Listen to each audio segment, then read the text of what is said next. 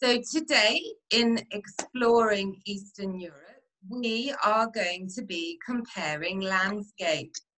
Now, comparing landscapes means looking at a photo and seeing the differences between one photo and another, or seeing the differences between one landscape and another landscape.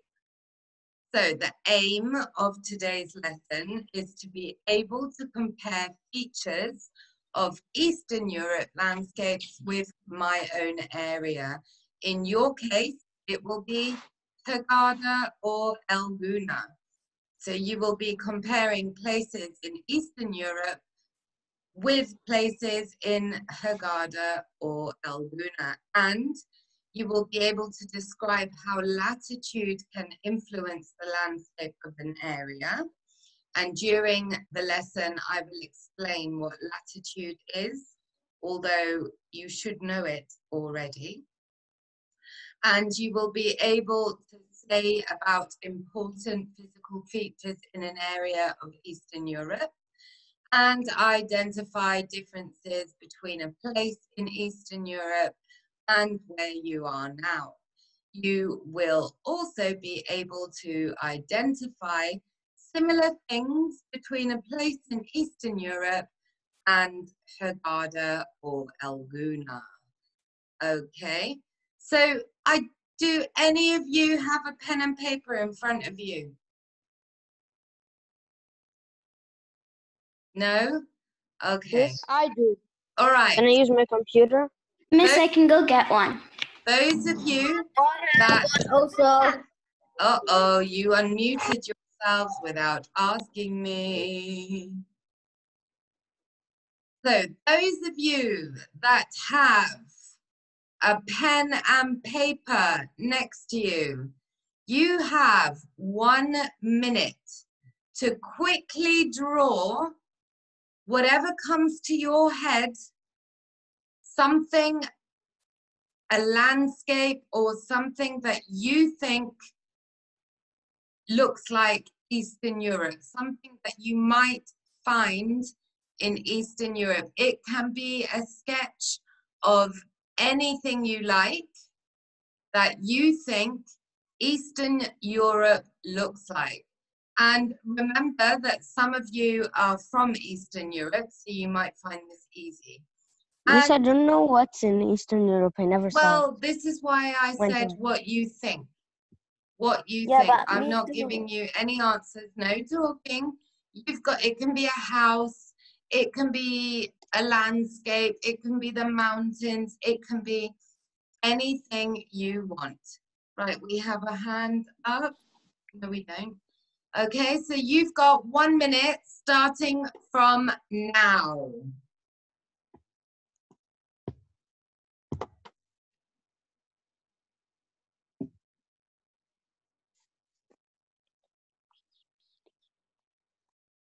I'm interested to see what you all draw, you think Eastern Europe might look like. Houses, gardens, shops, mountains, lakes, rivers, anything.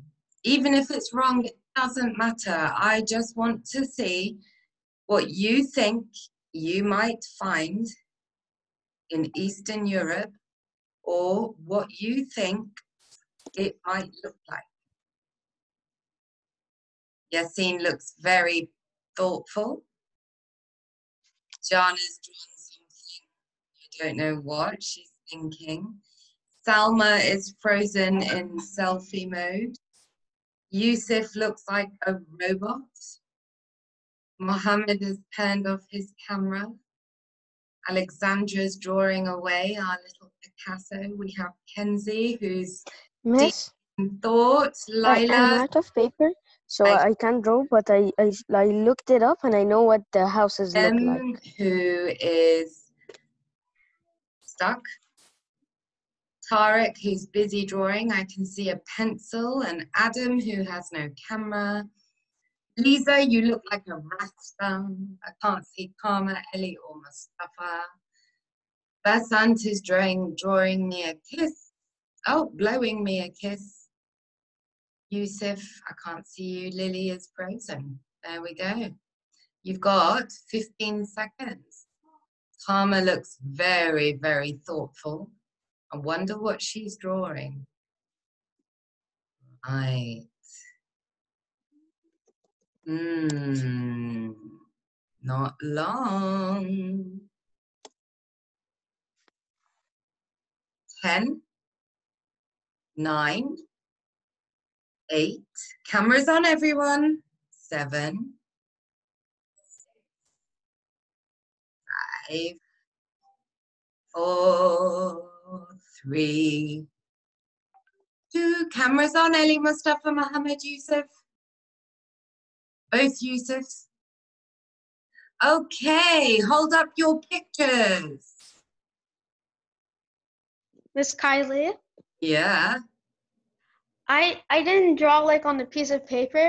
I like إيه، هو انت مش did قلتي لي something ان on انتوا the النهارده عندكم iPad. It's الساعه like 11 an فاضي app that I انا use. بصيت في الجدول Papers دلوقتي up لقيت to the عندكم camera, guys. يا ليلي ازيك آه هو انت مش قلتي لي ان انتوا النهارده عندكم الساعه 11 فاضي Wow. انا بصيت في So الجدول دلوقتي لقيت عندكم Alex انجلش بعد drew كده mountains with factories in the background. Jana drew, I can't see, اه لا خلاص clouds and mountains. Hence drew houses, mountains, and trees. Salma, I can't see. Lila did the mountains with the sun and cloudy weather. Well done.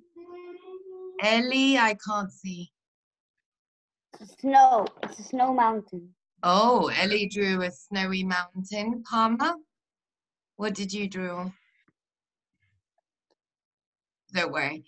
Tarek drew some supermarket with a 25% discount. Well done. And the rest of you are frozen or you don't have your cameras on. Okay, that's fine. Let's get back to the lesson. Well done. So you've used your imagination and you've thought about what Eastern Europe might look like. Now, can you put your hands up if you've been to Eastern Europe? Put your hands up if you've been to anywhere in Eastern Europe. So we have Lisa and oh, and Alexandra. Is that all? Mohammed, have you not been to Eastern Europe with your father? No, I think only my father went. Oh, okay. We were right. going to travel with him in the Easter, but uh, in the Christmas, but we couldn't. And then in the he we got struck with Corona. Yeah, Coronavirus. Oh well, we can pretend that you've been to Eastern Europe after this lesson. So we've now shared our sketches with the class and with me.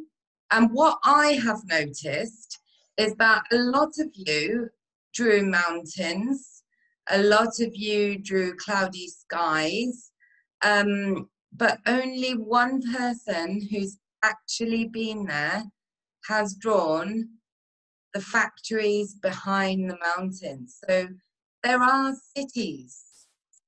Okay, it's not like Egypt where you've got the desert and then you've got separate cities. Um, we're going to look at that more closely. So Alexandra gave you a first hand account of what Eastern Europe looks like. Lisa?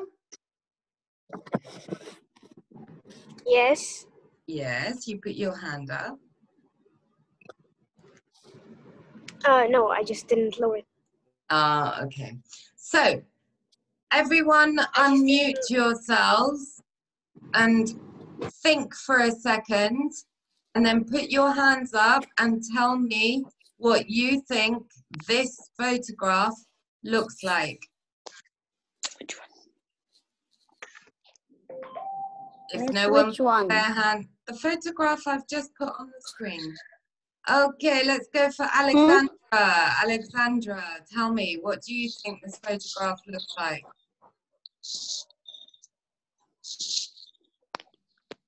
Uh, I see there's a black screen.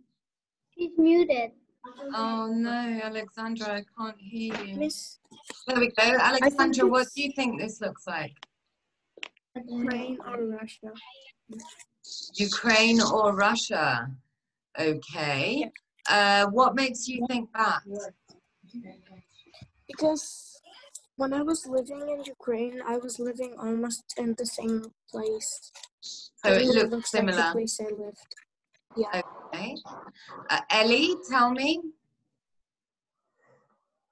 Uh, I think this is Eastern Europe because you, you said it's a city, and uh, there's also a bit of uh, like this. Okay, let, let me tell you now that every photo I show you is Eastern Europe, but they are all in different countries of Eastern Europe. So Alexandra thinks because of the buildings and the factories in the background that this could be Ukraine or Russia. Does anybody else have their hands up? No? Okay, let's move to the next one. Uh, who, what do you think this place looks like? Italy. No, you put your hands up. Kenzie? I think it's Russia What makes you think it's Russia? because in the back there's all these like cool shaped buildings and the funny looking architectures and You know, a very good point is the domes on top of the buildings. yeah the the what The do they call round domes. yeah domes. India. If you Google a photo of Moscow, you'll see all the wonderful buildings with these types of domes on the top. Yes, I don't have to Google them because my dad, when he went there, he took me, he showed me real life pictures. Yeah, I mean, I've never been, but I've seen from photos. Lisa, did you have your hand up? What do you think, Lisa, as you are Russian? Could this be Russia? Lisa? Yes. Um, What- I just yeah. wanted to answer that this is Russia. Okay, what, what, you tell us, as you are Russian, why is this Russia? Uh, because this is like the famous part in Russia. It's called Kremlin. Okay, and what's the buildings in the background? Um, the one that's like red, like orange red. Yeah. Um, it's Yeah, it's uh, and the one that's um, with the golden brown top. It's uh, a famous church.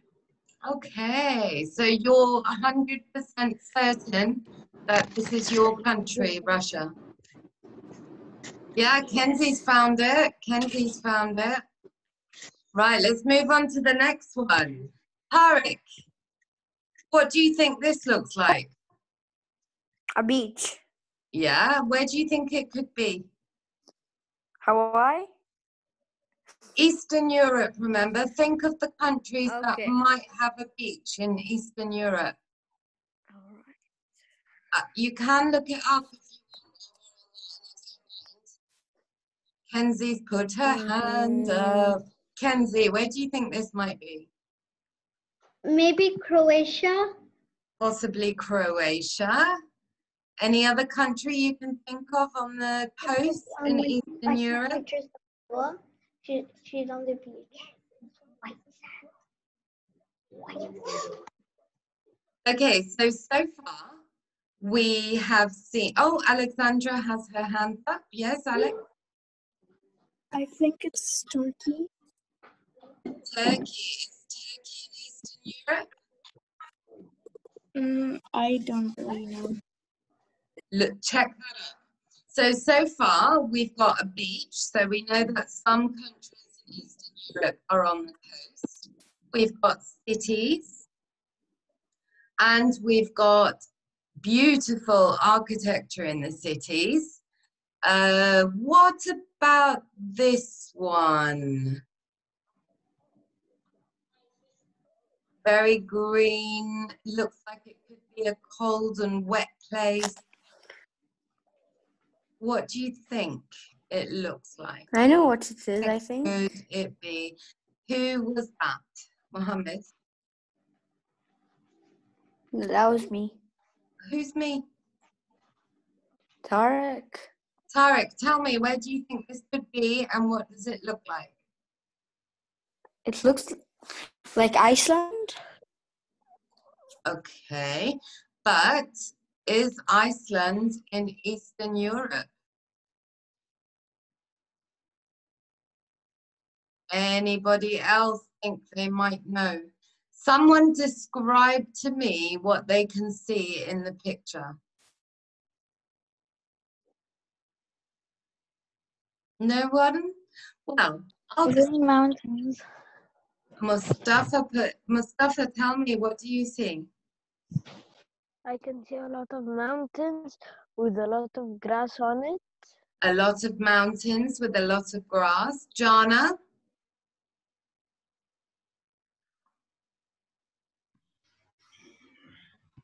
I, I can see lots of like um if you look down there's there's like little houses So there's little towns, lots of mountains, lots of Lots of- grass, lots of trees lots of trees. Anybody tell me what the weather looks like? um So, uh, Mustafa, tell me what the weather looks like. The weather is very rainy because uh, how will all of this grass and trees grow when there is no rain? Exactly. And also another clue in the picture are the clouds. Now, somebody tell me the difference between this picture and where we are living here. Adam, go on, you have a go. Adam, tell me the difference between this picture. Is it, is it Switzerland? No, Switzerland is not Eastern Europe, but I'm asking you to tell me the difference between this picture and Hurghada. This and Hur- and Hurghada? What's the Uh, difference? Miss, there's a big difference. There's a Here, huge everything difference. Yeah, here there is everything here is grass and in grass, Hurghada there is not a lot of grass. Exactly, but lots of other things as well. Can anybody see the sea? Ellie?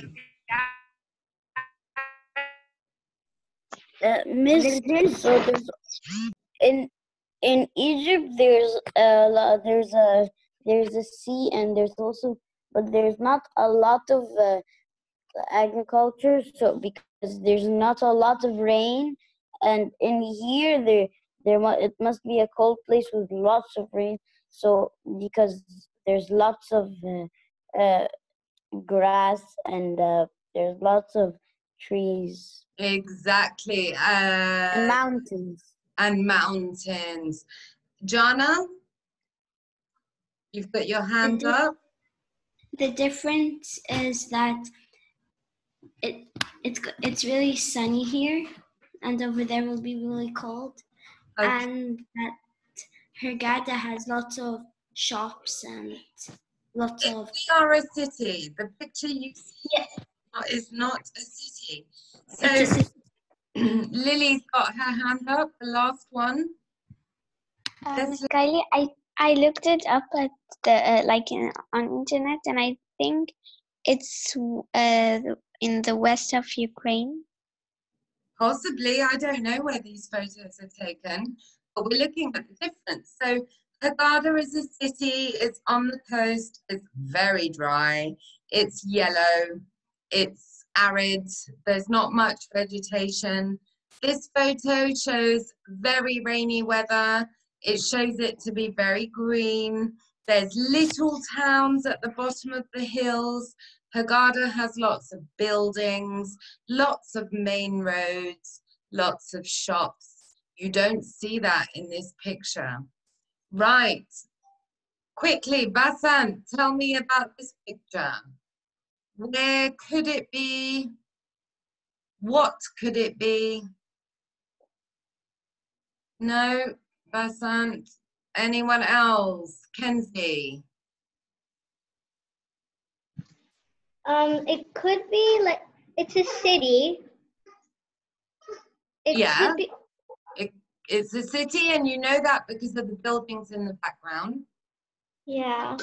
Uh huh. Um, a country, Russia. Russia. It could be Russia. Um, the differences are clearly this town is possibly on a hill. It's not level. It's densely populated. The weather looks very either very polluted or it looks cold. Uh, someone, Al Ajana? Is it is the country Turkey? No, look it up. See if Turkey is Eastern Europe. But then we've got colours. In Hurghada, you don't have houses set on the side of a hill. You don't have tall skyscrapers in the background. Normally, our skies are blue and sunny. So there is quite a big difference between Hurghada and the place that is in this picture. So then we have different architecture. Guys, the reason I'm going fast is because there's only seven minutes left of this lesson and I just want to talk to you. So we have different kind of architecture. Um, once again, cloudy weather, we've got quite modern, futuristic buildings. Um, we have trees, we have greenery, we have top of the art architecture. We don't have what you see in this picture here in Hurghada or El Gouna. So lines of latitude, okay, these are those lines you see in the picture. So some, Ellie, tell me really quickly, which lines of latitude does Eastern Europe cross? Now remember, north, south, east, and west. We did this in class. Ellie, can you tell me Okay. roughly where Eastern Europe is on that map?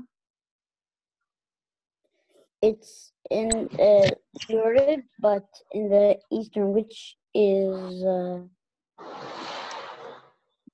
Towards Asia, maybe? yeah, like maybe next to Asia, but in Europe. Oh, but it's in Europe, but next to Asia. Okay. So are you telling me it's from 70 down to 40? No, 60. 60, okay, if you want to say 60 to 40, that box there, all of that is Eastern Europe. Now let's look. Do you know about the area above 66 north, where the line is? Anybody know? It's not heavily populated. And the daylight hours vary from no hours of sunlight in the winter to 24 hours of sunlight in the summer. We know about that. Some places don't get any light in the winter. You know that? Why? Lily, Yes. what your hand is Oh, I forgot. Uh, I forgot to lower my hand from the time that. Uh, Okay, Alex, Alexandra, tell me. I have a question. Will we talk about war? This is geography. We'll talk about war in uh, in history. Um, Okay, so some places in Eastern Europe in the winter gets absolutely no sunlight. But in the summer, they only get sunlight. It never I wonder what place this is. sorry, want to know which place this is. This is something I'm going to give you to look up. Okay, so you must know that the more north you go in Eastern Europe, the less sunlight you are going to get. But the more sunlight you will get in the summer. So we're going to be looking at the physical features of Eastern Europe, what you actually find and see in Eastern Europe. Now, I've given you three worksheets. One is super easy, one is slightly hard, and the other one is the hardest. So the Russia one is the easy one, the Ukraine one is the middle one, and the Turkey one is supposed to be the hard one. But you guys are super intelligent. You won't find any of them hard. I promise you. You are allowed to use your books, atlases, and you are allowed to use the internet to find out about these areas in Eastern Europe. And well done to those of you who said Turkey, because Turkey is in Eastern Europe. I was thinking some of you might get confused that it could be North Africa, but well done, guys. Turkey is in Eastern Europe. And once you have oh, done Also, your little bit of research, I would like you to write just a couple of sentences about how the location you looked at, so Turkey, Ukraine, Russia, is similar or different to where you live. Okay? Explain in a couple of sentences how the area may be similar or different and where you would prefer to live, whether it's one of those places that you have researched or if you prefer to live where you are living now. Do we all understand? Yes. Right. Yeah. Really, really quickly. Um, I was told at the beginning of the lesson um, that is it Miss Margot changed social studies for you all?